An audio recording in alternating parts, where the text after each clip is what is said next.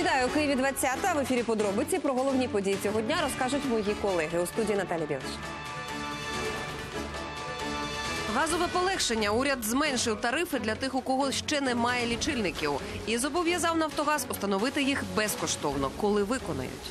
Мало ймовірно, але можливо. Американські спецслужби оприлюднили прогноз щодо наступу на Донбасі. Що ще варто знати? Вибуховий замах у Дніпрі із гранатомета розстріляли автомобіль. Хто влаштував розбірки посеред міста? Тероризм на експорт. Біженці з Іраку мало не влаштували масштабний напад у Німеччині. Що саме планували? Нова ціна на газоплатіжках, перехід на електронну систему документації та додаткові гроші для батьків новонароджених. Це плани уряду на цей рік. Усі подробиці знає Лариса Зубенко. Головною темою сьогоднішнього засідання уряду стало обговорення ціни на газ. Кабмін ухвалив рішення не лише повернути колишню вартість палива, а й трохи її знизити. Крім того, тепер Нафтогаз зобов'язаний встановити лічильники тим українцям, хто досі їх не має. Компанія Монополіст має це зробити до 2020 року. У черзі приблизно 3 мільйони домогосподарств. в цьому середовищі газовому всі чомусь вважають, що треба наживатись на людях. А я вважаю, і мої колеги вважають поряду. Ми проти категорично цього. Ми будемо захищати права людей і не давати нікому зловживати цими питаннями. Було 3,3 е, кубічних метра на людину. Чому має бути сьогодні людина платити 9 кубів? Ми ж розуміємо, що це втричі більше, ніж вони споживають. Тому я наголошую на тому, що ми повертаємося до норми. Була 3,3, буде 3,29. За прогнозами прем'єра продовжаться зміни і в соціальному забезпеченні новонароджених. На засіданні анонсували новий проект «Є-малюк». Із ним батьки зможуть оформити більшість документів на дитину в електронному режимі. Нововведення, за словами Гройсмана, мінімізує корупційну складову. Ми запровадили в е, бюджеті 2019 року ще один важливий, на мій погляд, е, інструмент це муніципальна няня. Тобто, якщо родина наймає офіційно для догляду за дитиною, то уряд компенсує 1600 трошки більше гривень цієї заробітної плати, яку батьки сплачують е, няні. Відмовитися від паперових стосів та перевести максимальну кількість державних та соціальних документів в електронний варіант теж в планах уряду. На рахунку Держагентства з питань електронного врядування запровадження 118 електронних послуг.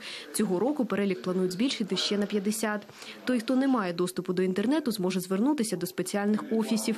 Їх, як запевняють в уряді, облаштують у всіх регіонах. За 2018 рік е, рівень користування електронними послугами в Україні зріс більше ніж тричі. Постанова передбачає впровадження принципу цифровий за замовченням. Відповідно до цього принципу, у всіх актах уряду пріоритетним буде е, надаватися саме е, електронний е, метод проходження е, процесу. Е, Для цього нормативні правові акти будуть проходити цифрову експертизу. З прийняттям постанови розпочнеться поступове якісне перетворення усіх, усієї нормативно-правової бази. Лариса Зубенко, Вадим Свиридонов. Подробиці телеканал Інтер. Прогноз від спецслужби в американському сенаті напередодні зібрали перших осіб ФБР та ЦРУ. Які головні загрози для безпеки, який розвиток подій в Україні вважають наймовірнішим. Дмитро Анопченко зібрав усі меседжі. Силовики люблять тишу, і навіть тут, у куларах конгресу або у високих сенатських кабінетах, воліли б з'являтися лише для закритих розмов сам на сам, для того, щоб не бути на публіці, для того, щоб їхні висновки і оцінки не цитувала преса. Але на засіданні сенатського комітету із розвідки перші особи силових структур просто не могли не з'явитися. А воно зазвичай проходить у відкритому режимі. Тому тут і очільник ФБР, і директор ЦРУ, і керівник агентства нацбезпеки, і людина, яка за правилами координує діяльність цих та інших американських спецслужб, профільних відділів Держдепу, Пентагону, Мінфіну, директор національної розвідки Ден Коутс. Саме його слова зараз так активно цитують у пресі. За прогнозами розвідки, напруженість між Україною та Росією в Азовському, а тепер уже й Чорному морях, тільки зростатиме. Перехоплення Росією українських суден у Керченській протоці та затримання українських моряків свідчать, що Москва налаштована обмежувати свободу мореплавання для України в цьому регіоні і чинити політичний тиск на лідерів країни, особливо напередодні президентських виборів. Серйозні бойові дії на Донбасі цього року, чи то великий наступ українських військових, чи то серйозні атаки бойовиків у спробі прорвати лінію розмежування, в американській розвідці вважають дуже малоймовірними. Хоча Коутс і наголосив, що з оперативної точки зору вони можливі, але все більше схиляється до того, що Москва не піде на відкритий конфлікт, а шкодитиме і Україні, і Заходу радше за допомогою засобів гібридної війни і пропаганди. Росія продовжить кампанію військової, політичної та економічної дестабілізації проти України, щоб спробувати уповільнити зусилля Києва щодо інтеграції в ЄС і зміцнення зв'язків з НАТО. Прогнозує і війну інформаційну, причому новий її виток, коли задіяні вже не тільки змі, а переважно інтернет. Ми вважаємо, що Росія продовжить вести інформаційну війну, зокрема використовувати соціальні мережі з метою впливу на громадян. Крім того, в розвідці побоюються, що Москва скористається своїми кіберможливостями, щоб втрутитися в майбутні президентські вибори в Україні і навіть у вибори американські 2020 року. І спецслужби вже зараз готуються цьому протистояти. А ще озвучені прогнози у сфері геополітики. Мовляв, Москва і Пекін остаточно зблизяться і діятимуть разом, щоб стати противагою Сполученим Штатам. І ще все йде до нової гонки озброєнь. Мовляв, нова російська міжконтинентальна балістична ракета, через яку фактично розсипався договір про спроєктована, щоб втручатися в американську систему протиповітряної оборони. І тому у Вашингтоні шукатимуть потужної військової відповіді. З Вашингтона Дмитро Анопченко, Сергій Коваль, американське бюро телеканалу Інтер. Зупинити війну на Донбасі та зберегти людське людське життя можна тільки шляхом прямих переговорів. Так вважає засновник опозиційної платформи за життя Юрій Бойко. Напередодні він запропонував свій план вирішення конфлікту. Усі подробиці у матеріалі. План врегулювання конфлікту на Донбасі Юрій Бойко представив напередодні на надзвичайному з'їзді опозиційної платформи за життя. Політсила одноголосно підтримала кандидатуру Бойка на президентських виборах. За результатами соцопитувань він найвірогідніший кандидат на проходження в другий тур після лідерки батьківщини Юлії Тимошенко. Головні пріоритети політика боротьба з бідністю, розвиток соціальних інститутів та економіки. Однак найголовніше зупинити війну на Донбасі мирним шляхом, без жодного пострілу. Мы выступаем за мир, а они пять лет прожигают войну. Мы за объединение всей страны, а они раскалывают наше общество и языком, религией и войной. Наше найважливіше завдання на найближчий час. Перше, ми зробимо все, щоб зупинити криваве протистояння на сході України. Ми негайно підемо на прямі переговори заради досягнення миру в державі. Це перше, що ми зробимо після перемоги. План Бойка підтримали і в самій політсилі. Це питання відображено в резолюції з'їзду, за який проголосували всі делегати. Там так у резолюції записано негайно приступити до прямого прямих перемовин, прямого діалогу з учасниками військового конфлікту на Донбасі, щоб якнайскоріше припинити бойові дії. Перемовини повинні розпочатися у чотирикутнику: Київ, Донецьк, Луганськ, Москва. Лише такі перемовини всіх учасників конфлікту дадуть якнайскоріші результати. Цю програму здатний реалізувати кандидат в президенти Юрій Анатолійович Бойко, при тому, що він має е, тому, що він має за своїми плечима сильну і потужну команду. Це команда політичної партії Опозиційна платформа за життя. Ключі від миру вони в руках опозиційної платформи за життя. Це продемонстрували на з'їзді, який відбувався буквально днями. Е, Це видно із програм е, зареєстрованих кандидатів. Наприклад, пан Юрій Бойко вже е, і пройшов процес ре- реєстрації, і вже на сайті ЦВК є програми, з якими можна ознайомитись. Однак, за словами політологів, вести перемовини з Москвою зможе далеко не кожен кандидат, адже більшість з них знаходиться під санкціями Російської Федерації, та й з теперішньою владою в Росії навряд чи підуть на діалог. Нынешний формат власти Москву в любом случае не устраивает. Они точно не будут публично, ну, на публично даже идти на переговоры. Они вот провели красную черту для того, чтобы показать, что вот с этими людьми э, да, даже, может быть, они будут какие-то дружественные лозунги нам тоже выдвигать и тоже выходить, мы э, разговаривать в публичной сфере, по крайней мере, не будем. Тут же вопрос не в том, что поехать, а вопрос, чтобы тебя еще приняли, еще бы услышали. А, Понятно, что у Юрия Бойко тут самые сильные позиции. По крайней мере, он достаточно об этом и открыто говорит, что нужно выходить на переговоры, а, в первую очередь, с Россией. договариваться с Москвой, а договариваться нужно, естественно, с Москвой а, по поводу регулирования на Донбассе. А, От э, Украины должен человек, который, во-первых, настроен на мирное регулирование и который готов к компромиссам. Я не представляю, как кто-либо другой из претендентов на президентство а, от этого лагеря, кроме Бойко, может даже потенциально вступить в переговоры с Москвой. У Бойко есть не просто реалистичный план, у него есть, э, насколько я понимаю, а, возможность говорить и с представителями украинского политического истеблишмента, и, с, э, и убеждать их, потому что здесь тоже все очень сложно, как понимаю, и говорить с Кремлем. Але поки що війна на Донбасі продовжується вже протягом 1440 днів. За останніми даними ООН, від початку конфлікту на Донбасі загинули майже 13 тисяч людей. Оксана Григорєва, Леоніда Борін, подробиці, телеканал Інтер. На Донбасі сьогодні три обстріли. Один із них із заборонених мінометів. Бойовики вдарили по позиціях наших військових поблизу селища Кряківка. А в районі Павлополя та Хуторовільного противник застосував гранатомети і стрілецьку зброю. Об'єднані сили відкривали вогонь у відповідь. Ніхто із українських армійців не постраждав. Про це повідомляють у штабі. І додають, що ситуація наразі перебуває під повним контролем наших військ. На базу в Ніжині прибув іще один гелікоптер, придбаний за французько-українською угодою. За дві години пілот подолав більше 600 кілометрів. Та, попри складні погодні умови, філігранно здійснив посадку у Чернігівській області. На власні очі це бачила Ірина Баглай.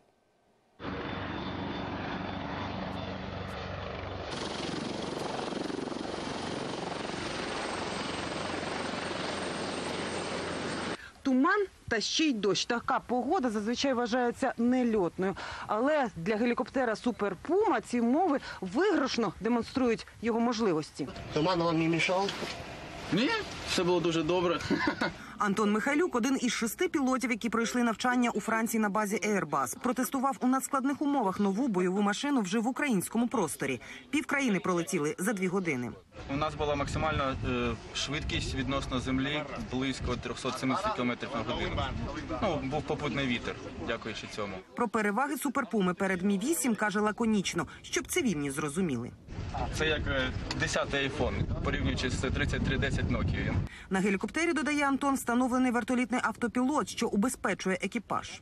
Ну, Можливість е, в погану погоду е, отримати більший час для аналізу посадки, виконати всі розрахунки останні. Це полегшує роботу. Менше стресу, менше нервів, більш, більша впевненість під час заходу Це вже третій гелікоптер, який за французько-українською угодою отримали наші силовики. Саме цей гелікоптер він і призначений для пошуку на морі. Для авіаційного загону поява цієї сучасної пташки справжнє свято. Пілоти не приховують радості і чекають своєї черги сісти за штурвал суперпуми. У нас на сьогоднішній день створена додаткова авіаційна ескадрилля в кількості 100 чоловік. Е, Це інженерно-технічний склад, і льотний склад, які будуть використовувати саме ці повітряні суда. За умовами проекту всі гелікоптери базуватимуться в ангарах. Один із них уже звели на Ніжинській базі. Тут е, нові ангари побудовані для зберігання цих гелікоптерів. Е, В майбутньому ми плануємо тут е, розмістити е, сервісний центр, який буде здійснювати технічне обслуговування всіх гелікоптерів, 55 гелікоптерів. У МВС не лише оновлюють авіаційний парк, а й одночасно створюють єдину систему авіаційної безпеки. Рішення, екіпаж якого підрозділу вирушатиме на порятунок, ухвалюватимуть централізовано без бюрократичної тяганини. У разі, якщо буде необхідність до залучення для виконання певного типу завдань техніки, яка не зараз знаходиться ближче, наприклад, якщо буде необхідність передислокувати людину з травмами, але немає поряд гелікоптера ДСНС, але є гелікоптер національної поліції, державної служби, державної прикордонної служби, то вони будуть використовуватись як, єдина система. Не буде цього е, розмежування по функціоналу. Уже наприкінці наступного місяця на цьому зльотному полі має приземлитися ще один гелікоптер Супер Пума, четвертий з 21 придбаного. Ірина Баглай, Сергій Дубінін із Чернігівської області. Подробиці телеканал Інтер. Нестача педагогів, застаріла матеріально-технічна база, недоступність до сучасних методів навчання в Україні активно запроваджують реформу галузі освіти. Водночас до українських реалій шкільні нововведення майже не доходять. Що стоїть на заваді? Про це у сюжеті. Відказуємо мені. І? Сім. Сім. Звичайний урок у школі в передмісті Херсону. Радянські меблі, старі дерев'яні рами, холодні класи це те, що кидається у вічі одразу. Школа розрахована на 600 дітей, а навчаються близько 100. Ремонт у будівлі не робили з радянських часів. У нас колись е, мали проблему з кришею, е, з дахом і затікало, тому почалася руйнація. Е, Вона це, е, ця, е, цей корпус у нас закритий, одне крило школи закрито десь. Я ще не працювала, але десь за даними 1988-87 рік. Так само потребують ремонту чимало інших шкіл в Україні. Та вирішити цю проблему не вдається навіть попри запровадження освітньої реформи. Насправді, на переконання народного депутата Юрія Бойко, вона провальна. об'єднання предметів, от те, що сталося там з 23, там 9 сталося, це неправильно, тому що зрозуміло, життя не стоїть на місці. Е, З'являються нові дисципліни, нові предмети. Треба рухатись вперед, треба розвиватись. Але коли гамузом от, е, зібрали вкупу всі предмети разом, то це приведе до того, що не буде глибини знань, а відповідним чином буде погіршення умов навчання і рівня освіти е, дітей, які виходять зі школи. Розкритикував Юрій Бойко і матеріально-технічну базу шкіл. Каже, її просто немає. А все через те, що грошей на освіту катастрофічно не вистачає. Торік, приміром, галузь недоотримала 14 мільярдів гривень. Те, що зробило сьогоднішній уряд, це не реформа. Це ще більше погіршило умови роботи і освітян, і умови навчання дітей. Перш за все, скажімо прямо, обдурили вчителів зарплатньою. Тому що сьогодні, з 1 січня 2019 року, мінімальна зарплатня вчителя згідно закону повинна бути 7684 гривні. А сьогодні 60% вчителів отримують зарплату менше 7 тисяч. Люди не хочуть йти працювати вчителями, тому що робота важка, робота відповідальна, а зарплатня невелика. Завдяки небайдужим у молодіжній школі є інтернет, безкоштовний. А от комп'ютерного класу немає. Ба більше немає навіть вчителя, який би викладав інформатику. Директор зізнається, весь час намагається запрошувати педагогів з інших шкіл, та поки що охочих не знайшлося. А якщо в селі е, вчитель отримує 5 тисяч гривень і немає відповідного житла, то як він сюди поїде? Ну я вам скажу інакше, у нас і в Києві я вже проводив приклад в той школі, де вчаться мої діти, теж є дефіцит вчителів. Ця взагалі професія становиться дефіцитною, тому що немає відповідної мотивації, а в селах особливо, тому що ще й житла немає. І тут ну, зрозуміло, на вчителя набагато більша відповідальність по всіх напрямках, і це треба допомогти. Єдине, в чому пощастило учням школи селища Молодіжне, їх не торкнулося створення освітніх округів. Тож не потрібно їздити на уроки до інших населених пунктів, на відміну від інших навчальних закладів. Костянтин Рєдін, В'ячеслав Нікіфоров, подробиці, телеканал Інтер, Херсон. Чи загрожує морському узбережжю Одеси тотальна забудова? Це питання було головною інтригою сьогоднішньої сесії міськради. Що станеться із землею курортної зони та як депутати рятуватимуть місцеву архітектуру? Про це далі. Сесія міськради почалася з приємного. Мер Геннадій Труханов нагородив почесною відзнакою Олену Вірановську, бабусю одеського моряка Андрія Новічкова. Два роки жінка добивалася повернення онука з Ірану. Тамтешня влада звинуватила його у вбивстві, але зрештою жінка перемогла. Один в поле не воин. Но если человек ставит перед собой цель и задачу, которую можно осуществить с помощью людей, друзей, которые понимают э, беду, я благодарна всем. Інтрига була у тому, чи внесли до порядку денного скандальне питання про узбережжя. Справа у тім, що міськрада намагається затвердити нові межі ділянок біля моря, але так, що велика кількість цих ділянок підпадає під забудову. І ось з'ясовується, напередодні міністерство екології відкликало своє узгодження на документ. Власне цього і добивалися активісти та ряд депутатів. Исходя из этого, на сегодняшний момент рассматривать этот вопрос э, в повестке дня является абсолютно незаконным. Другое дело, что ситуация с тем, как выдавало министерство, как, собственно говоря, отозвало свое согласование, ну, лично у меня, ну, даже, знаете, ну, не то, что удивляет, меня просто возмущает. А ось історичний центр Одеси, відомий пам'ятками архітектури, потрапив до обговорення. Депутатам запропонували затвердити програму його розвитку на три роки. На ремонтні роботи планують позичити у банків мільярд двісті мільйонів гривень. У нас кошти запозичення. Основна мета, куди йдуть, це е, приведення в порядок наших фасадів, це історична забудівля. Відновити на ці кошти планують фасади 200 історичних будівель. Проте депутати кажуть, краще б менше, але якісніше. Тобто потрібен комплексний ремонт. Це відновлення дахів, систем водовідведення, заміни комунікацій. Інакше кошти витрачаються нераціонально. Если же это просто ремонт фасада, по сути фасада, то это просто подштукатурили э, фасады, покрасили, ну и в лучшем случае, допустим, поменяли козырьки, которые выходят на фасад. И я уверен, и есть опыт, и, собственно говоря, это мы можем увидеть, что это здание буквально э, придет в негодность, то есть этот фасад придет в непригодное состояние буквально- буквально через 2-3 года. Втім, програму депутати затвердили. Крім того, 140 мільйонів гривень надали комунальному підприємству теплопостачання міста Одеси на погашення газових боргів, а також виділили 10 мільйонів гривень управлінням Нацполіції та Служби безпеки України. Андрій Анастасов, Ігор Міханошин, подробиці, телеканал Інтер, Одеса. Перерахувати пенсії для українців вимагають у парламентському комітеті із питань соцполітики. За словами ВО голови комітету, у бюджеті пенсійного фонду на 2019 рік на погашення заборгованості передбачили лише 50 мільйонів гривень, хоча необхідно близько 7,5 мільярдів. Крім того, пенсійний фонд має повернути до казначейської служби півтора мільярда. були проблеми з виплатою пенсії. Тоді на вуха стали всі пенсіонери. Мільйони пенсіонерів я отримав тисячі дзвінків. А цих грошей не було. І пенсійний фонд був змушений прокредитуватися в казначействі. Що робити далі? Як вирішувати цю ситуацію? Як вони будуть цей касовий розрив долати? Питання, яке мене турбує, це дія постанови про призупинення виплати е, пенсії переселенцям.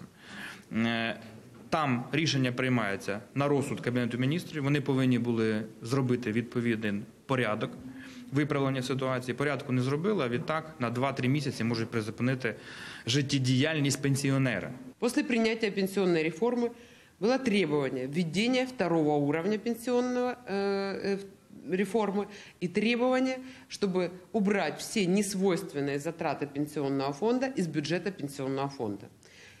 Эти требования не выполнены. Закон Украины в этой части не выполнен. И мы считаем, что это преступное бездействие сегодня правительства и их специальные действия для того, чтобы еще больше увеличивать бюджет, дефицит пенсионного фонда и не выплачивать людям справедливые пенсии Ціни на газ можна зменшити удвічі. У цьому впевнена Юлія Тимошенко. Під час поїздки на Чернігівщину лідерка партії Батьківщина заявила, що людей зараз найбільше цікавить, чи чекати нового здорожчання та коли закінчиться війна. Якщо ми візьмемо сьогодні український газ, візьмемо бухгалтерію наших державних підприємств, які видобувають газ, і подивимося собівартість природнього газу, додамо транспортування, податки, додамо 30% прибутку для того, щоб галузь розвивалась. У нас по розрахункам виходить 3 гривні 50 копійок за кубометр. Повернути не можна залишити. Заява керівниці МОЗу Уляни Супрун про те, що із нового року ліки можна буде повернути до аптеки, виявилася мильною бульбашкою. З'ясувалося, що процедура ця зовсім не нова. Усі подробиці знає Ірина Розова. Наприкінці минулого року виконувачка обов'язків міністра охорони здоров'я Уляна Супрун приголомшила новиною, що з 1 січня українці зможуть повернути ліки до аптеки. З 1 січня 2019 року кожен українець зможе повертати до аптек ліки.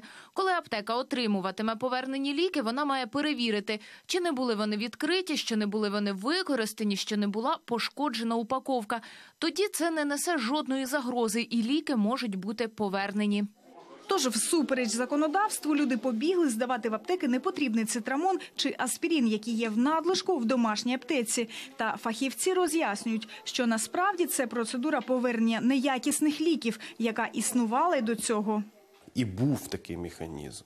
Нічого нового не змінилося, нічого не змінилося.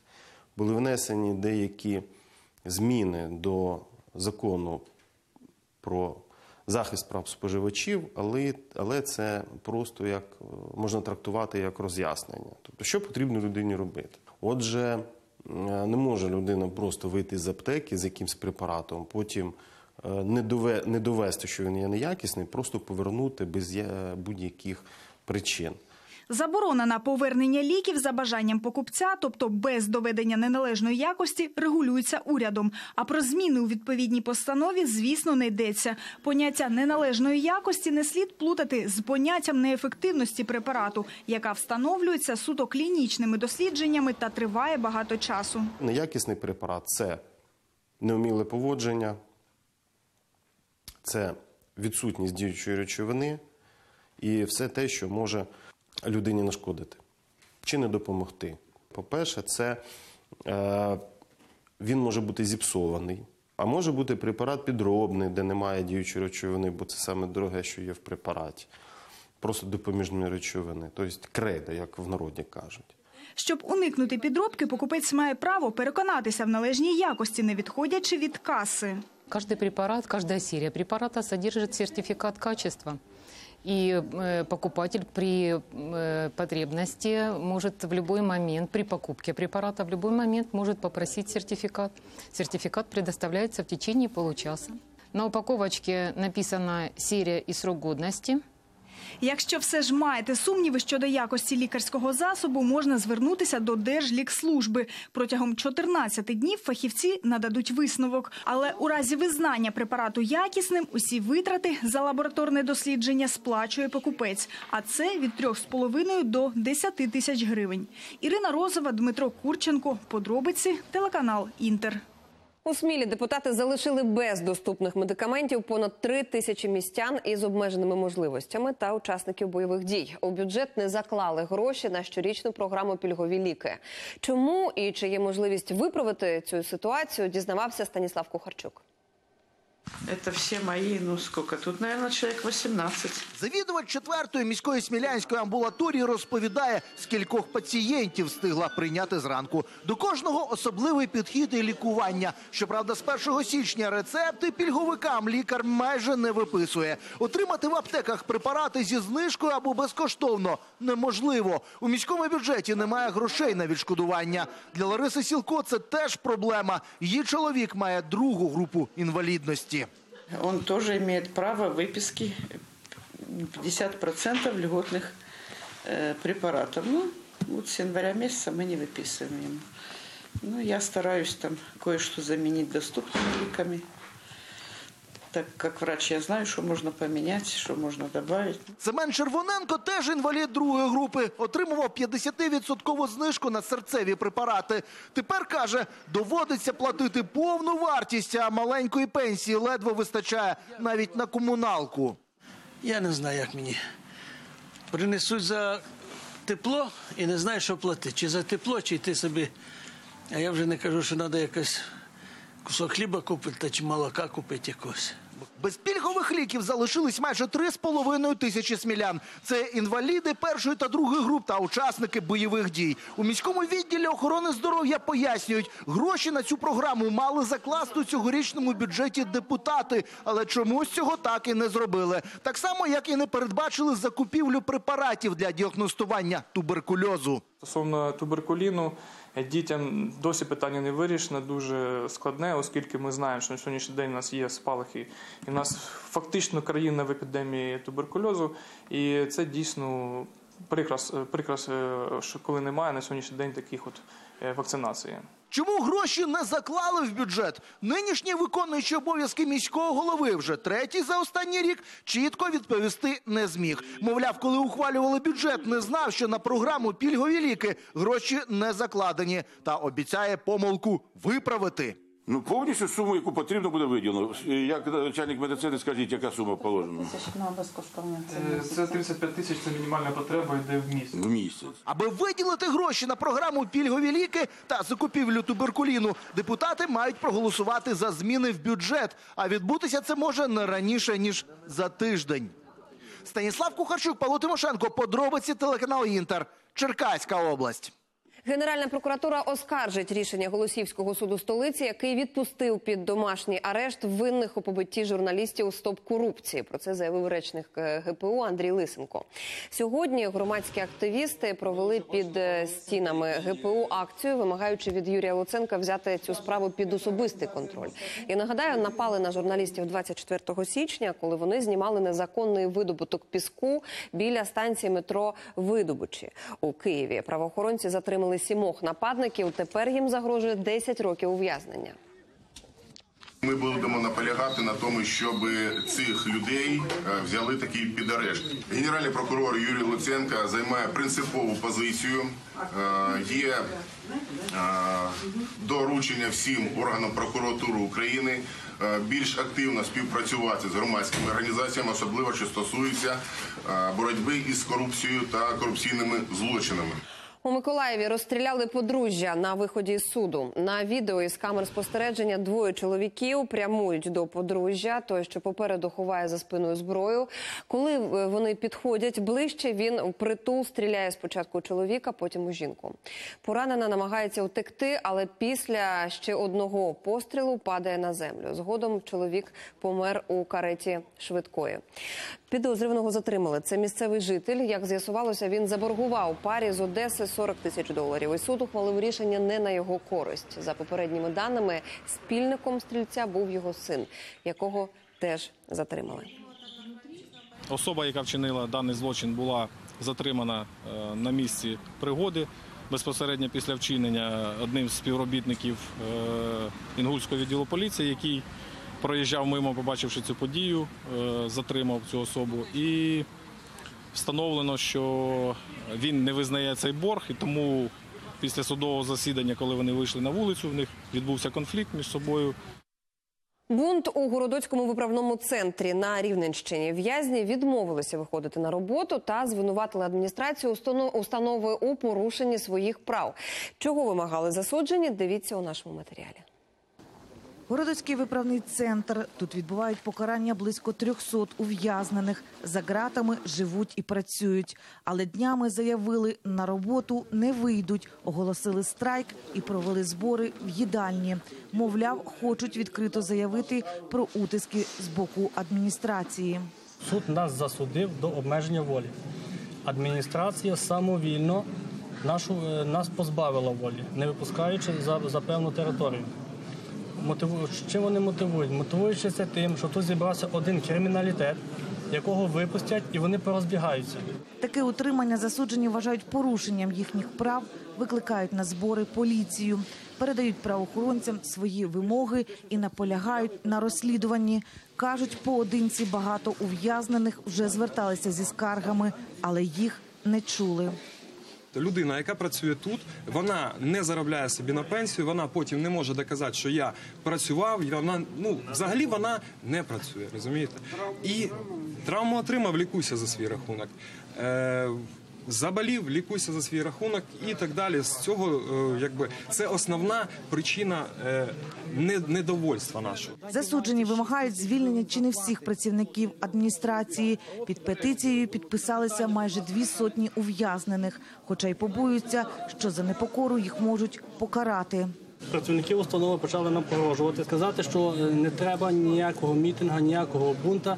Все вирішиться е, само собою. І якщо ви вийдете, то ми вас всіх закриміналимо.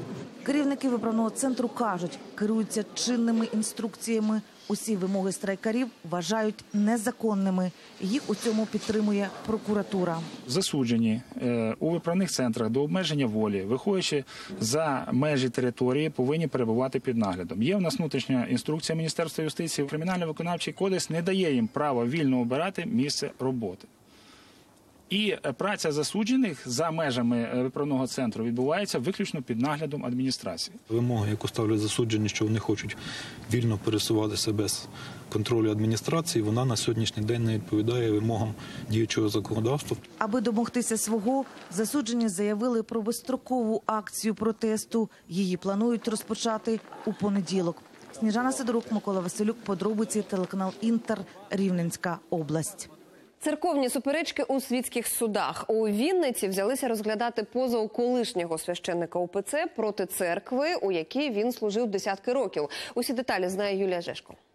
Радуйся, душі моєї спасение, радуйся, невесту не невестная. Це не ранкова служба і не релігійне свято. У такий спосіб у самому центрі Вінниці віряни підтримують своїх священнослужителів. Річ у тім, що кілька тижнів тому суд Вінницької області почав розглядати суто церковну справу.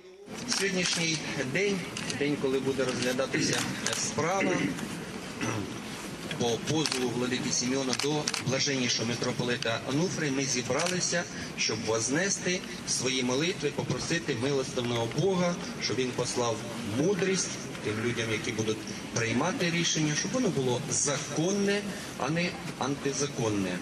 Митрополит Симеон за паспортом Володимир Шостацький перейшов з Української православної церкви до нової ПЦУ, але зараз чомусь хоче поновитись на посаді. І не через церковний суд, що уповноважений вирішувати подібні питання, а через звичайний обласний. Ответчиком по суду выступает Киевская митрополия Украинской Православной Церкви. Дело в том, что канонами церкви это запрещено. То есть каноны церкви запрещают священнослужителям обращаться в светские суды по церковным вопросам. Не знать этого он не может. Поэтому мы можем сказать, что это действие вполне продуманное, вполне осознанное. Такі дії спричиняють чималу шкоду, кажуть священнослужителі, адже через судову тяганину до обов'язків не може заступити новий голова Вінницької єпархії УПЦ. Це стосується і вірян, бо храми, до яких звикли ходити, відтепер під замком. Больше не находится других дел. Сейчас страна в такой беде находится вообще везде. И еще храмы забирают у верующих людей. Тож вінничани прийшли до будівлі суду із закликом до священиків ПЦУ. кажуть, якщо вже перейшли до нової церкви, то будуйте собі нові храми і живіть веки веков. І адвокати і священники наголошують, мало того, що суд не має права розглядати цю справу, так ще й позивач на засідання не з'являється. Дивно те, що громадянин Шостацький Володимир Іванович не з'явився в судове засідання і його представник не з'явився. Тобто е, вони всі говорять, що порушуються їхні права, і дивно, що не приходять в судове засідання, щоб їх захистити. представник нової церкви, а суд просить, щоб його Українська православна церква взяла назад на роботу. Ну, єпіскопів на роботу то не беруть, ви розумієте? Це не робота, це є служіння. Окрім того, підозрюють, що справа тут не у вірі, а в матеріальній вигоді. Все майно, транспортні засоби, кошти подарував кафедральному собору Преображенському міста Вінниці. А хто прийняв все це майно і всі кошти? А прийняв все він же, як настоятель кафедрального собору. Тобто він сам собі подарував себе. Тим часом в суді оголосили, суддя захворів і справу перенесли на невизначений термін. Після того, як суддя вийде з лікарняного, сторони в справі будуть повідомлені про час дату судового засідання. Суддя буде вирішувати, чи е, підсудна ця справа. Я не дивуюся, що суддя збіг. Збіжав. Розумієте? Захворів раптово. Хитрощів. Так що, Владика, е, я не дивуюся і вчинку бувшого митрополита Сімеона. Більше того, увіряни спростовують інформацію щодо виходів з УПЦ у Вінниці. Розповсюджується інформація не підтверджена. Люди голосуют. Люди сами, которые ходят в церковь, они х- говорят, что мы хотим оставаться в УПЦ. А, а им не дают, закрывают двери и все. Варто наголосити, що УПЦ не проти розгляду цього питання, проте за умови законності. За церковними законами він повинен прислухатись рішення було священного синоду, повинен передати всі документи мені як новому назначеному е, керуючою єпархією. От і створювати вже ж нову структуру Вінницька єпархія ПЦУ. Люди запевняють, українську православну церкву підтримуватимуть і далі. І щойно стане відома дата наступного слухання, прийдуть знову. Юлія Жешко та Василь Міновщиков. Подробиці телеканал Інтер.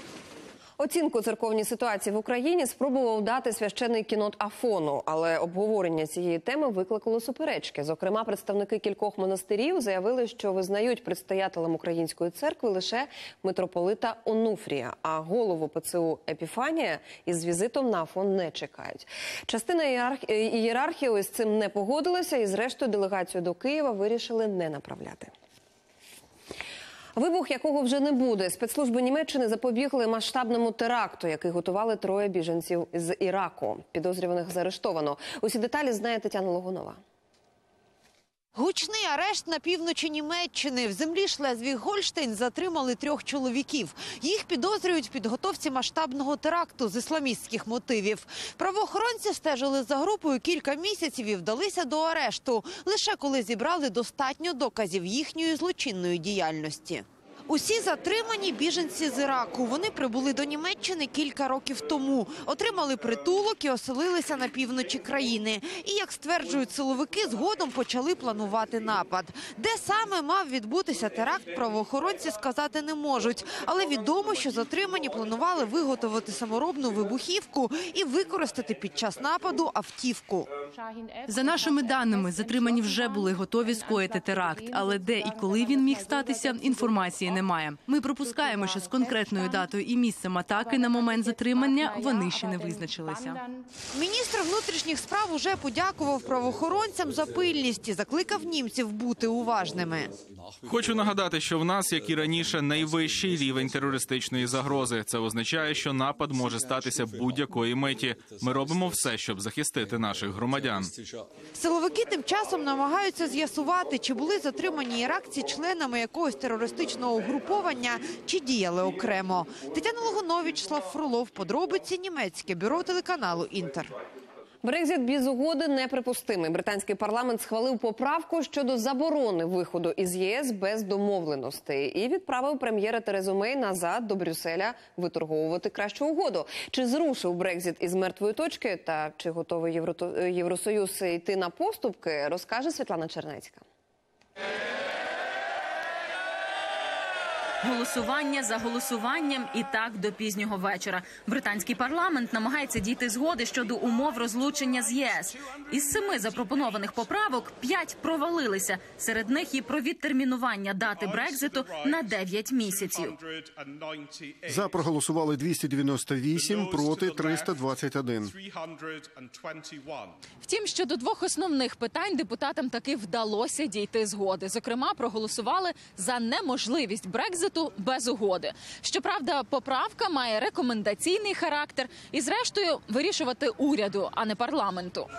Також депутати погодилися відправити Терезу Мей назад до Брюсселя і передумовитися щодо особливого статусу Північної Ірландії. Багатьох не влаштовує, що ця частина Британії на невизначений час фактично залишиться у складі ЄС, щоб уникнути кордону з Ірландією. Тепер зрозуміло, що є ключовим питанням для парламенту, аби підтримати угоду щодо виходу з ЄС. Тож тепер ми відправимося до Брюсселю і будемо добиватися змін до угоди, що стануть юридично закріплені. Втім, у Брюсселі вкотре повторюють, повертатися до переговорів не збираються. Угода з Брекзиту остаточна і не підлягає перегляду. Це ще один втрачений день. Ми на день ближче до виходу з ЄС без угоди. Адже ми всі розуміємо, що прем'єру не вдасться передомовитися з Брюсселем щодо ірландського питання. Тож, коли знову дійде справа до голосування за її угоду в парламенті, депутати знову його провалять. Лише два тижні є у прем'єра на те, щоб вмовити Євросоюз піти на поступки. Адже вже 13 лютого парламент знову голосуватиме щодо угоди з Брекзиту. А закінчити весь процес треба до 29 березня. Саме цього дня Британія покине ЄС. Світлана Чернецька, Юрій Романюк. Подробиці британське бюро телеканалу Інтер. Лижники у Польщі потрапили під лавину. У Сполучених Штатах аномальні морози, а у Таїланді через брудне повітря закрили школи. Про це у нашому огляді. Шестеро людей постраждали, з них троє у тяжкому стані внаслідок сходження лавини в польських татрах. Про це повідомляє польське радіо. Жінку, яка перебувала під снігом найдовше, доправили гелікоптером до Кракова. Зараз у польських татрах діє другий рівень лавинної небезпеки. Рятувальні служби обстежують схили, щоб переконатися, чи немає інших туристів, які могли потрапити в халепу.